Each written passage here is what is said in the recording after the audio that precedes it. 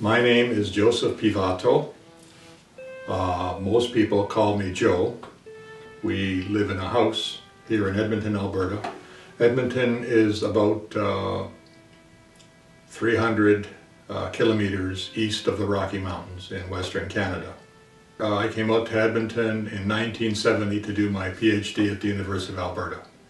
And in 1976, 77, got a job at Athabasca University, a distance education university, and I've been there ever since. I retired in 2015. I've been here in Alberta both to do graduate work and, uh, and also to teach at the University of Alberta. I, I've been teaching Canadian literature, comparative literature, English literature, and in all those courses I managed to include a lot of uh, Italian Canadian writers, uh, and other ethnic minority writers. So I've, I've given my students, my Canadian students, a uh, different perspective on what English literature is and what Canadian literature is. I like writing. I've been writing since I was in grade seven. Uh, I've, as an academic, I've written mostly academic essays uh, and books, but I've also written short stories, I've written poems, uh, and uh, at the present time I'm working on a collection of, of, of short stories a collection of stories about uh, family members, my extended family. Emma, my wife, is uh, also a writer. She's published uh, seven um, mystery novels, and the number eight is coming out soon. And uh, she's also uh, finished a book of memoirs about our life with our youngest daughter. Uh, we have three children. Our oldest son, Marcus Yanni, is in Paris at the, the University of Cergy-Pontoise teaching economics. Our middle daughter, Juliana, is an artist and teaches at the University of Toronto Scarborough, and she has two children. Uh, our youngest daughter, Alexis, uh, still lives with us at home. She is severely disabled, severely disabled, and uh, we uh, are able to keep her at home with staffing to take care of her uh, from 8 in the morning till 10 o'clock at night. And this staff is paid for by the provincial government of Alberta. We were able to organize by establishing a society, a home within a home society, we're able to establish society to keep Alexis home with us. So she goes for walks every day around the neighborhood. Uh, the, uh, the staff uh, feed her, they bathe her, they, uh, they do the physiotherapy with her every day. And so they keep her, uh, keep her life as normal as possible. We've also done things like uh, take Alexis with us on vacation. We've taken her to to our vacation in, in Mexico 13 times. That's two weeks vacation in the beaches of Mexico, Playa del Carmen. We've also taken her to the mountains. We've taken her to Toronto. She went to Chicago for her uh, sister's graduation from uh, University of uh, the uh, the Art Institute of Chicago so, uh, Law Art School, um, and we've taken her to other other places in Alberta, Calgary, Drumheller, Canmore, etc. Uh, Banff, Jasper, the mountains. Our experience uh, to, uh, to normalize a life for someone severely handicapped as, as, Alexis has given us a different perspective on uh, individual differences of people, the, the handicap, but also people of, of different uh, ethnicities, uh, religion, personalities, genders, and so forth. And we've taken this perspective into our writing and into our teaching it gives us a different uh, point of view on, on the world. The fact that uh, Canada has an official multiculturalism policy uh, makes everybody in Canada a little more tolerant to difference, to ethnic diversity, to pluralism, and so forth. So we're more open, and this is this is uh, a perspective that we share with the with the rest of the people in the country. We, we don't find this kind of openness, this kind of multicultural positive attitude in places like Europe, such as, for example, places like uh, Italy or France uh, or the UK. The UK, for example, has a policy, an anti-immigration policy to try and keep people out of the country rather than uh, people in the country. The work in Italian Canadian writers began with Pier Giorgio Di Cicco, who contacted me from Toronto in 1976, 77, that he was doing an anthology of Italian Canadian poets.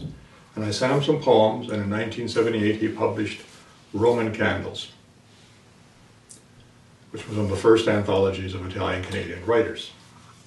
And uh, that caused me and a number of other people to discover the fact that Canada had a number of Italian Canadian writers in Montreal, Toronto, Vancouver, Edmonton, and elsewhere who were beginning to write about their identity, about the Italian Canadian experience, about immigration, about trips to Italy, about their relationship with their parents, about language problems, about the dual identity, uh, the position of women, when we were dealing with that forum. So we began to discover ourselves. So we, we ended up meeting in Toronto and in Montreal. We were invited to give talks, to, to go to book launchings.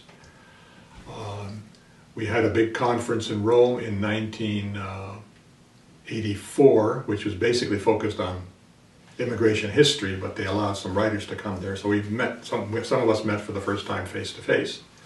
And Antonio D'Alfonso, who had in 78 had started Guernica Editions, began to talk about doing doing something to promote Italian Canadian writers. So we came up with the idea of, as Antonio said, criticize ourselves. That is to produce a book of, uh, of criticism about, about the writers. We came up with this book, Contrasts, Comparative Essays on Italian Canadian Writing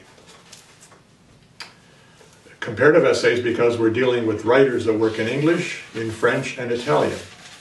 And so here we have contributions from uh, uh, eight or nine different contributors writing essays about uh, various problems, the language problem, the novel, uh, identity, writing in French, uh, the position of Italian culture, and so forth. So this became, we were naive about this book, we were just trying to do something to promote our writers, but this book became a seminal anthology that promoted the discovery of ethnic minority writers in Canada, not just Italian Canadian writers, but ethnic minority writers. So it, it prompted other groups, uh, South Asian writers, uh, the Ukrainian writers, the Japanese writers, the Chinese writers, and other minority groups to uh, examine what they were doing to form networks, to form associations, to uh, publish journals and so forth, to promote their,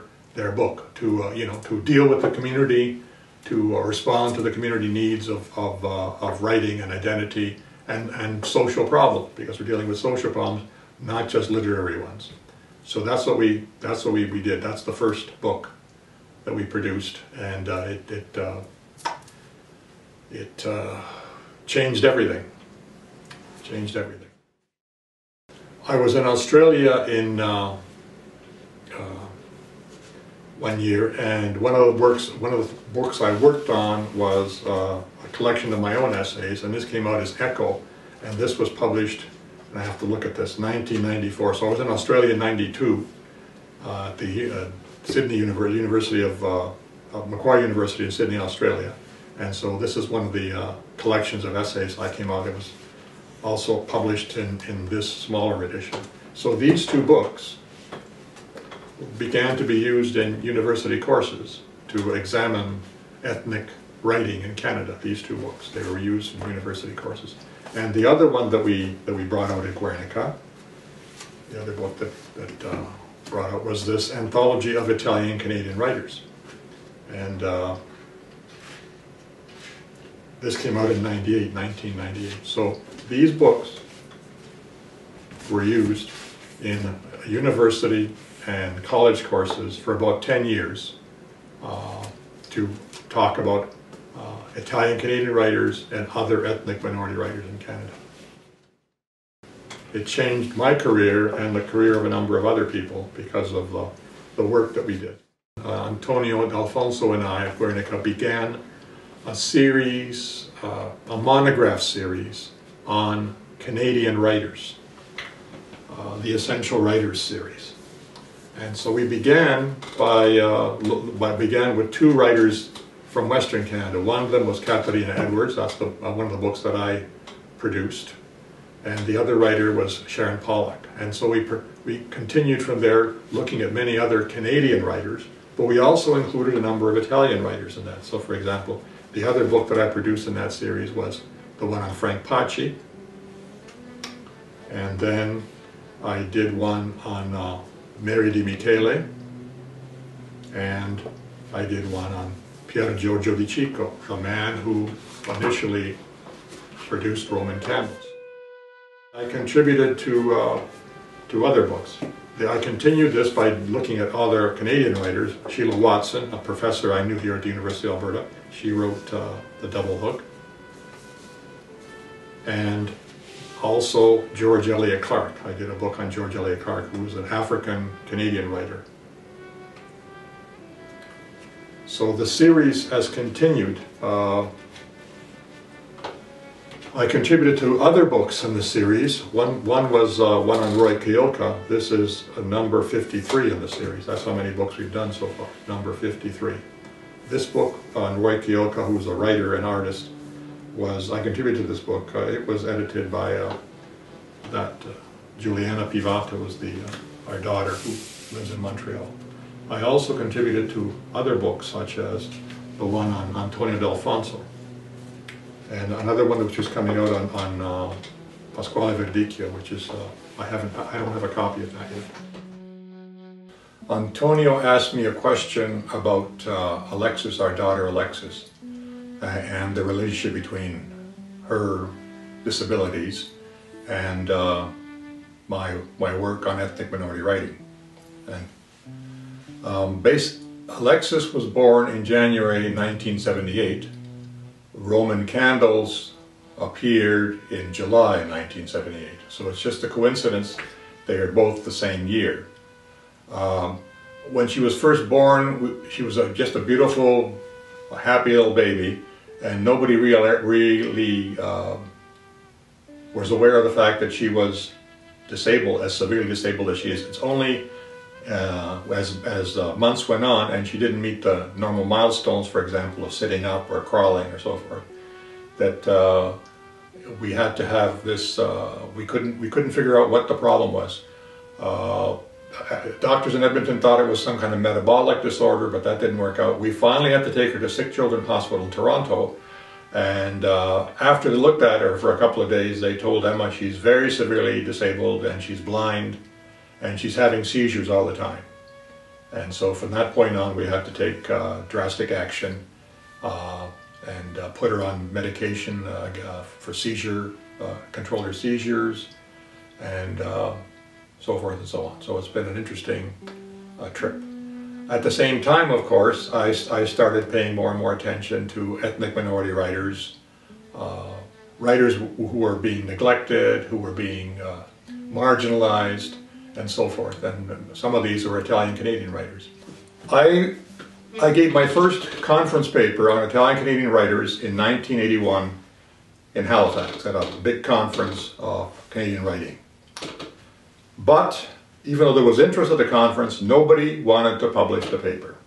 I sent it to a number of Canadian journals. Nobody wanted to publish it. One rejected it as too esoteric. Okay? I finally published it in a sociology journal, Canadian Ethnic Studies. Canadian Ethnic Studies. And they, they were doing a special issue on ethnicity and Canadian literature, and they accepted my paper. One of the editors for this issue was Robert Croce. This journal uh, was very supportive of Italian Canadian writers because it would often publish reviews on Italian Canadian books that, that didn't appear in any other journals so they help to give Italian Canadian writing academic credibility. Okay, so uh, it's a mistake to reject the whole idea of ethnic, the word ethnic as somehow being another form of the N-word, uh, or ethnic minority. What ethnic minority implies, and I belong to an ethnic minority, and most Italian Canadian writers do too, what that implies is that Canada has an ethnic majority, the Anglo people, the people of English, uh, Irish, Welsh background. They're the majority in Canada. The other minority in Canada are the French, the people of French background. And Italian Canadians, uh, Ukrainian Canadians, uh, Filipinos, Canadians, uh, German Canadians, Hungarian Canadians, we are all in the minority. So we are an ethnic minority and the ethnic majority is the English. So you can see that accepting the term ethnic minority implies that there's an ethnic majority. And we're just, it's a relationship that we have with them.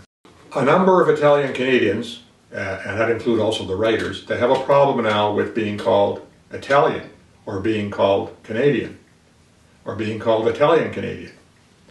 Uh, I grew up in the 1950s, which had, the, the Canadian society of the 1950s was very much an assimilationist society. That was what you were supposed to do. You were supposed to assimilate as quickly as possible into the mainstream of English Canadian uh, culture. So when I went to school in uh, 52, when I went to grade 1 in 52 the, at a Catholic school, the Catholic nuns uh, changed my name from Giuseppe to Joseph, which became Joe. And I never, and that that's what happened. And a, a, couple of years later, when my sister went to another Catholic school, we moved to another Catholic school. Her her Italian name is Luigina, and the nuns there too. They said, "Well, you it's very difficult. Uh, kids are going to make fun of you. You should just simplify and call yourself Louise." And she did, and never looked back. So, when you have a name like Joe and Louise, it's easy to assimilate and blend into uh, Canadian society, mainstream English Canadian society. If you have a name like Pasquale and you don't change it to Pascal or something like that, then it becomes more difficult.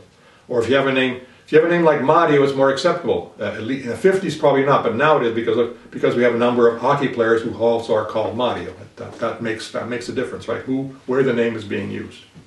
So I have no trouble identifying myself as Italian Canadian with a hyphen. Okay, I was born in Italy. I came here in 1952. Uh, I assimilated into Canadian society, and so I, I, have, I have both perspectives. I can be critical of both points of view. I don't have uh, uh, powerful nostalgia to go back to Italy and go back there and live there. I don't have any of that idea. The, the, I have an interesting aspect of my background. My grandfather, my mother's father, came here in 1904 to work, he was a stonemason, to work uh, for the railway railway construction. He did not lay tracks. He built things like bridges, viaducts, uh, buildings, and so forth. He worked with brick and stone and cement. Okay, his he loved Canada, and uh, he came back in 1912 to get married, and then he returned to Canada again. His idea was to bring the whole his whole family over to Canada. So his first son he gave him a, an, an, English name, Gianni, but it, what is spelled it in Italian, J-A-N-N-I, became, which became Yanni. Even my mother, my mother's name was Mary, M-E-R-I, Mary, because they were planning to come to Canada. And so he came back to fight in the First World War, survived the First World War, but after the war, my grandmother said, no, I don't want to go to Canada.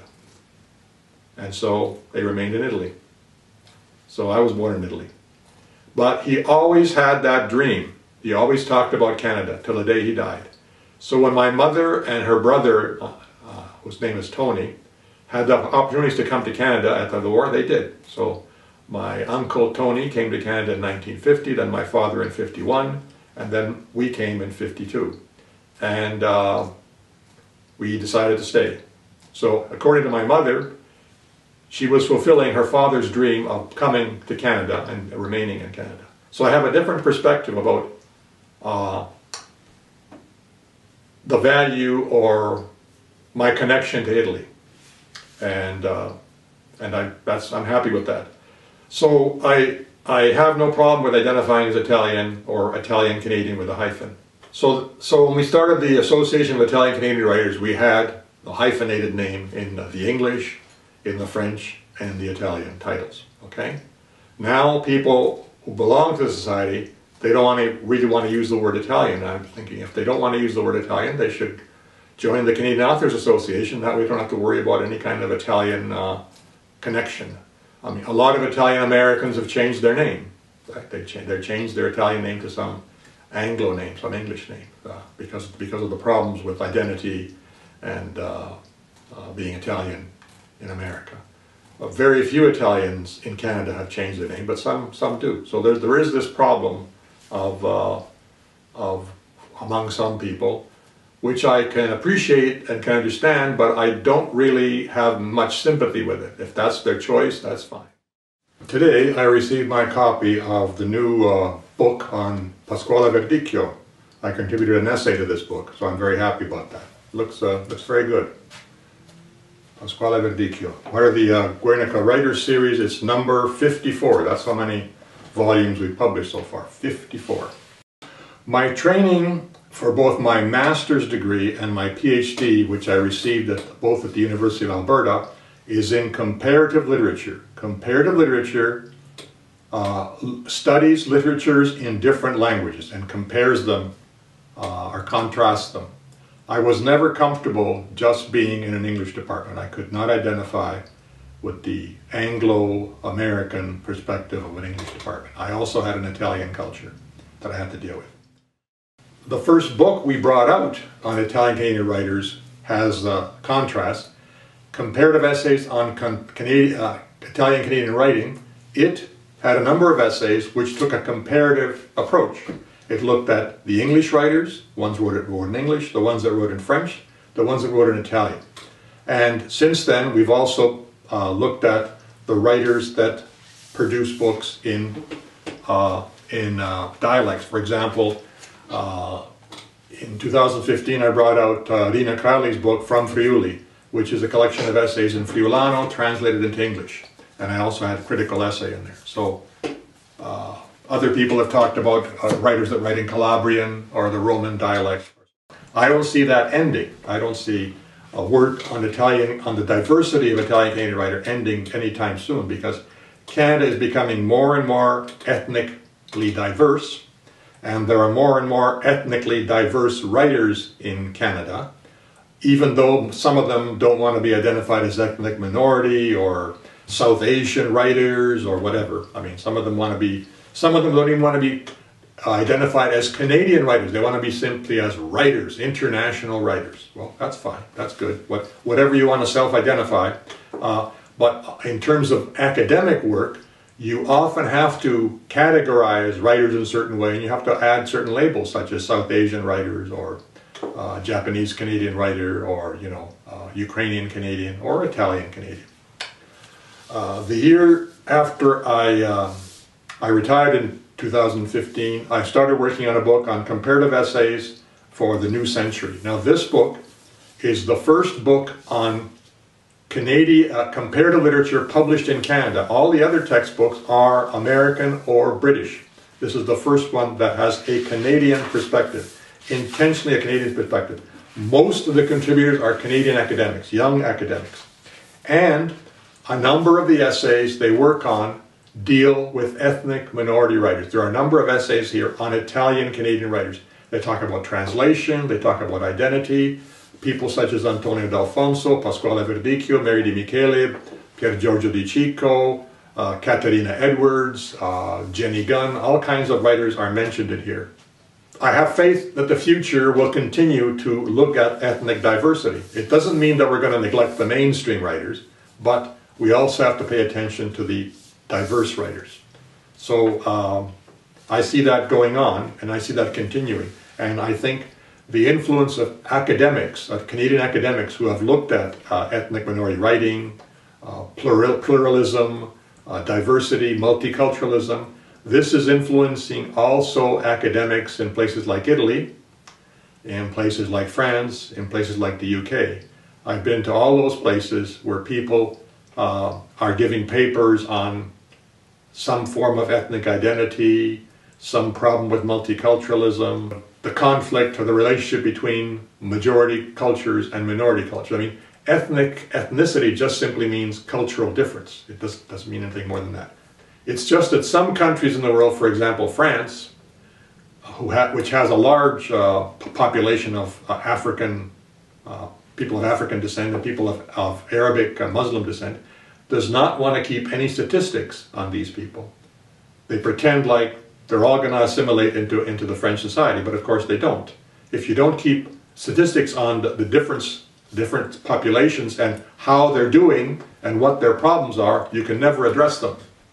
You can never address them, and that, that is a problem with not. Whereas Canada does keep a, a, a, a, a stu- we do study ethnic minorities populations in Canada, their problems, their so forth and so on. For example, with, with the COVID-19 crisis, uh, pa- pandemic, we know that certain people are of cultural backgrounds are affected more than others, and this could be to do with their, their cultural backgrounds, their social habits, their working conditions, their economic status. It's nice to know where the problems are so you can deal with them. So the study of ethnic minorities, the study of literary criticism of Canadian literature from all these different perspectives is has a social value, a social usefulness. It's not just you know art for art's sake. And I've always seen it that way because it's, it's dealing with the real situation in Canada, the reality of, of Canada. And you see that uh, recent governments, for example, the Trudeau government had ethnic minority people on the cabinet, and also the new president-elect uh, in, uh, in the United States, Joseph Biden, Joe Biden, is also going to have ethnic diverse visible minorities on his cabinet. I've always written, I've always written uh, since uh, since I was in grade seven. In grade seven, I had a, a new Scottish teacher who gave uh, all her students an assignment, a writing assignment every week to write a page. Some student took the the uh, the assignment seriously. I did, and I started writing, and I never looked back. I've I've uh, I only realized recently that in all my life, in all my 70 plus years, I've never had writer's block. I've always been able to find something to write about. Anyway, my short stories. My father died in 1997. Uh, he, he, he'd been in the Second World War, he was a, a, German prisoner, and so forth and so on. So I wrote a story about him because he, uh, he escaped being a German prisoner and got back home. I called it My Father's Escapes, which basically deals with his war experience and his uh, later coming to Canada and so forth. He worked in, in construction and he escaped certain, uh, you know, uh, tricky, uh, dangerous conditions, so he survived. He ended up dying in his garden. You know, the, the, the, his favorite spot in the whole world, his garden. That's where he ended up dying. Uh, so I, I, that story was uh, published in 99 in a, an Alberta anthology called Threshold. I was very happy about that, 1999. And the, uh, the story had a circular, a circular beginning. So it begins with my father escaping through the, uh, the bush of northern Italy, escaping from the Germans, uh, which, which, was a, which is a similar scene that you find in the, in the Lina Wertmuller film, seven, uh, I think it's called Seven Beauties. Okay, So I, I, begin with that scene. And I end with the scene of him dying, uh, disappearing in his garden before anybody could notice, dying, and continuing to escape. In other words, he escaped the world that way. So it has a circular structure. Anyway, some anthology uh, editor uh, put it in, in a grade 12 anthology, Passages, which uh, Canadian anthology for high school students. So it appears in this anthology as, uh, so, you know, there I was, you know, almost a Hollywood uh, star.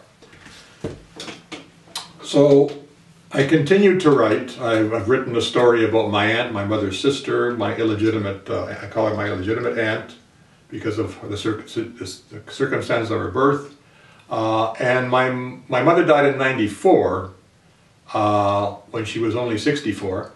And so I, uh, I wrote about her.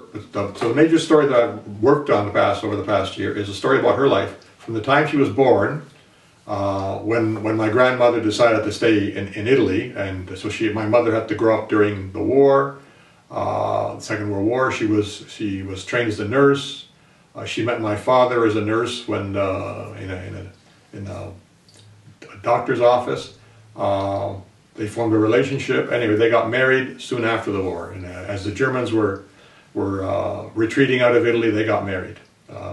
there was such such austerity that the big meal for their wedding was risotto. give you an idea, risotto, that was it.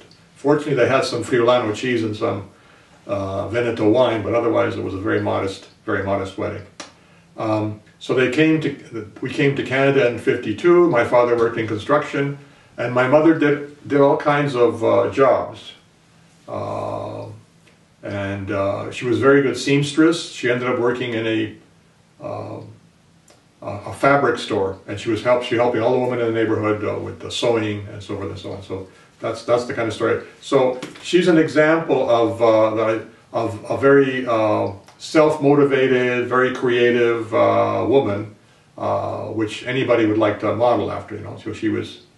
Uh, so that, that's that's the story I wrote. I wrote, and so I'm I'm now working on other members of the family. My uncle Tony, my my grandfather, Mondo, you know, his, his trip to Canada, for example, uh, uh, when he was coming back to Canada after, uh, in 1913, yeah, 1913, he, he uh, missed out sailing on the Titanic.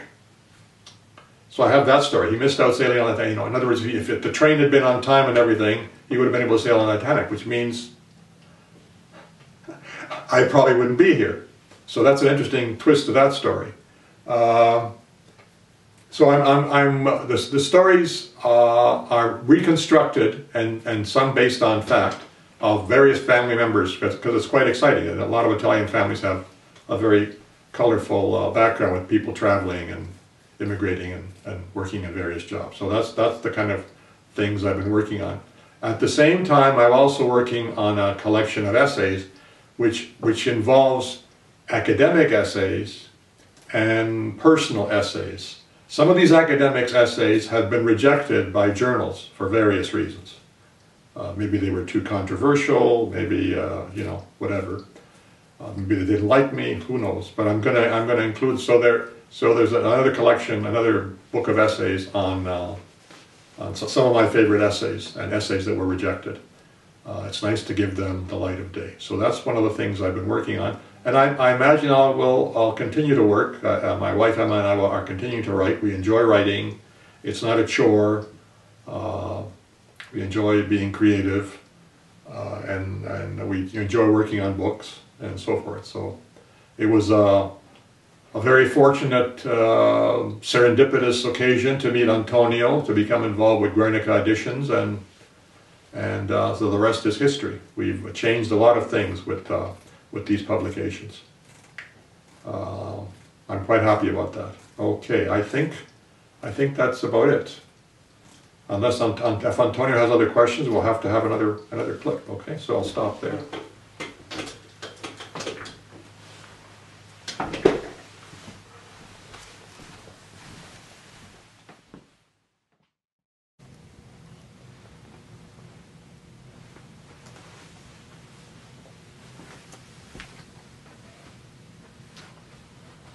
We are here in uh, my library. Um, this is part of the collection of Italian Canadian writers. These, these are the ones that write in French and Italian. These are the ones that write in English, and up, up above is Italian Canadian history. So this is just part of it. I have many other books in, um, in boxes. Why am I here? Up to now, we've talked about the success of Italian Canadian writers and the success in my career. But we also have to point out to failure. And that failure is the fact that Italian Canadian academics have failed to embrace Italian Canadian writers. There are a few who have written the odd book or the odd essay, Francesco Loriggio, uh, Vera Golini, Pasquale Verdicchio has, has, published some articles on Italian Canadian writers. Um, and myself, of course, myself. Um, but I consider, I consider that I've failed in a sense that I've not been able to stimulate or encourage other uh, academics to embrace Italian Canadian writing. I've given two papers criticizing the the Association of, of uh, Italian Studies and the University of Toronto Italian Studies program. Why? Because they have not uh, offered any courses or done much research promoting and supporting Italian Canadian writers in Canada, even though they depend on, uh, on uh, the population for students and their programs. The University of Toronto has uh, supervised 158 PhD theses since, since the 1960s. Of that number, only one, one has uh, uh, focused on Italian Canadian writers. All the others have been uh, neglected, forgotten, avoided. The, the, the, the Italian Studies Department at the U of T publishes uh, Italian Canadiana, but that is basically a kind of uh, extracurricular activity. It's not part of their curriculum. Their focus is the, is the canon of Italian literature. Dante, the Renaissance, Manzoni, Leopardi, that's those kind of people. Uh, the uh, Italian Canadian writers, the immigrant writers, uh, they don't they don't really exist for all intents and purposes. So that's that's the big failure that I that I talked about, uh, and I've complained to them and I've written about it, but it all falls on deaf ears. So that's that's why I'm here in my library, demonstrating the, the, the critical mass that we have in Italian Canadian writing, even those that write in French and Italian, and yet all these people are neglected. All these people are neglected. It's very sad to document that, but I think in this in this uh, interview, that has to go on record as something that I've tried to do and have failed to do. Okay, and uh, once I'm gone, there is really nobody to uh, take my place. There are no other uh, young academics that are going to be looking at Italian Canadian writing uh, or so forth and so forth and so on. It, it's going to depend on English Canadian academics and researchers to look at ethnic minority writing. So that's about it. I think that's I think that makes the statement. Thank you.